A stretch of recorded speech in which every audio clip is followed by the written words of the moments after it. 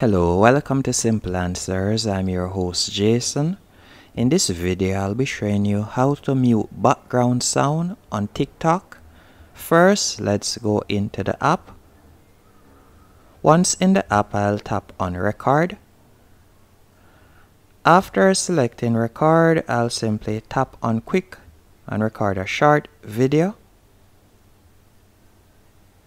After I've recorded the video, as you can see right here, I'll simply tap on the arrow pointing down in the bottom right hand corner. And I'll slide it up a bit. Then I'm going to tap on volume.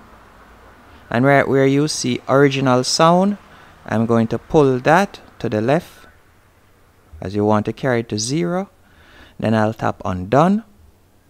Then I'll tap on the option at the top of the screen that says add sound and from here you can search for whichever sound you'd like to use. For example this one right here. Then tap on the sticky. Then you'll tap on next to post it and that's it. I've removed the background sound or mute the background sound and I've added a song to my TikTok video. Hope you found this video helpful and informative.